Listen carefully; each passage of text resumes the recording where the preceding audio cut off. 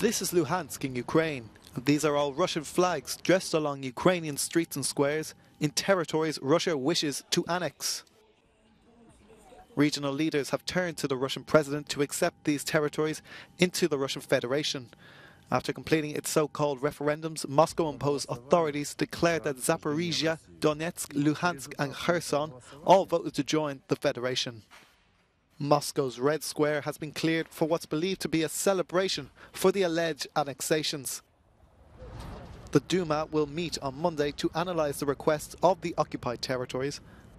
However, Ukraine has pledged that it will continue to fight to liberate the occupied territories, and according to some analysts, that puts the Russian president on the spot. The major threat for President Vladimir Putin after these referendums is that he's driven away from Lyman then the same patriotic society will take the pacifier out of their mouths and will blame Putin for not being able to protect already Russian territories. That's why I think Putin will hesitate over whether it's worth rushing to announce these territories as part of Russia.